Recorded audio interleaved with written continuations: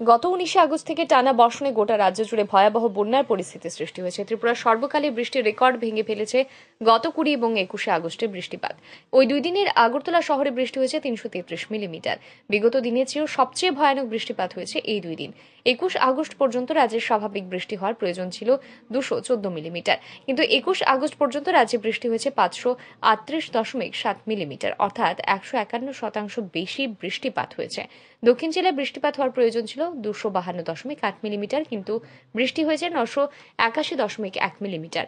গোমতী জেলাতে স্বাভাবিকের চেয়ে দুশো চৌত্রিশ শতাংশ বেশি, পশ্চিম জেলায় একশো সাতত্রিশ শতাংশ বেশি বৃষ্টিপাত হয়েছে। সিপাহীজলা জেলাতে বিরানব্বই শতাংশ বেশি বৃষ্টিপাত হয়েছে। খোয়াইতে একশো পঞ্চাশ শতাংশ বেশি বৃষ্টি হয়েছে।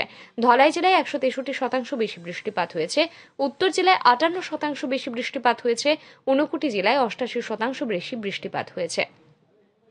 এই অত্যধিক বৃষ্টিপাতের জেরে রাজ্যের সবকটি জেলায় ভয়াবহ বন্যা দেখা দিয়েছে। এই বন্যার পরিস্থিতিতে বিভিন্ন বিষয় নিয়ে আলোচনার লক্ষ্যে শনিবার রাজ্য অতিথিশালার কনফারেন্স হলে এক সর্বদলীয় বৈঠকের আয়োজন করা হয়। এদিনের এই বৈঠকে পৌরোহিত্য করেন মুখ্যমন্ত্রী ডক্টর মানিক সাহা। এদিন বৈঠক শেষে এক সাংবাদিক সম্মেলনে মিলিত হন মুখ্যমন্ত্রী। এদিন সাংবাদিক সম্মেলনের শুরুতেই সমস্ত রাজনৈতিক দলের প্রতিনিধিদের ধন্যবাদ জানান মুখ্যমন্ত্রী। কেননা, একদিনের নোটিশে সকল রাজনৈতিক দলের প্রতিনিধিরা এই বৈঠকে উপস্থিত থেকে নিজেদের মূল্যবান বক্তব্য তুলে ধরেছেন। মুখ্যমন্ত্রী বলেন, আজকের এই বৈঠকে কোনো রাজনৈতিক আলোচনা হয়নি। শুধু রাজ্যবাসীর স্বার্থে করণীয় বিষয়গুলো নিয়ে আলোচনা হয়েছে।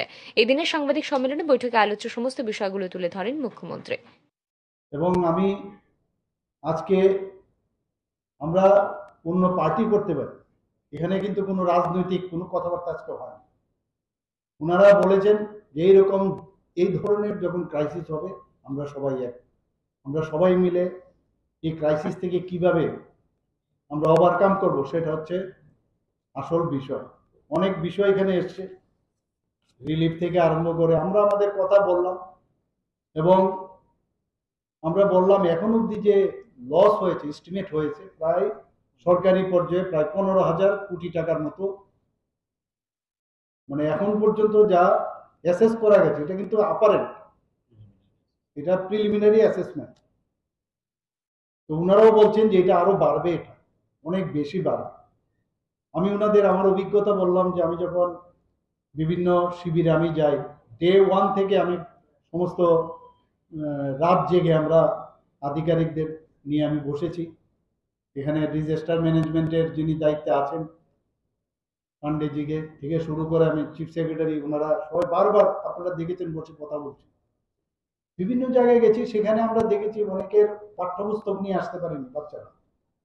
তো আমি বলেছি যে যারা পাঠ্য, অনেকে, অনেকের আছে এক মাস পরে পরীক্ষা। তাদের যাতে লিস্ট করে এডুকেশন ডিপার্টমেন্টকে আমি বলেছি, তাদের বই দেওয়ার ব্যবস্থা করে। সেখানে যে টয়লেটগুলো পরিষ্কার পরিচ্ছন্নতা যাতে বজায় রাখে, তার জন্য আমি বলেছি। ব্লিচিং পাউডার জন্য দেওয়া হয়। এটা শুধু একটা জায়গায় না, সারা ত্রিপুরাতেই। আমাদের এখানে প্রায় ফাইভ হান্ড্রেড এখন পর্যন্ত আমাদের five hundred fifty seven relief camp এখন অবধি সারা সমস্ত ডিস্ট্রিক্টে আমাদের আছে। তো সার্বিক যে আলোচনা হয়েছে, আমি খুব হ্যাপি এবং ওনারাও, আমি আশা করি ওনারাও খুশি হয়েছেন যে বারবার ধন্যবাদও দিচ্ছিলেন।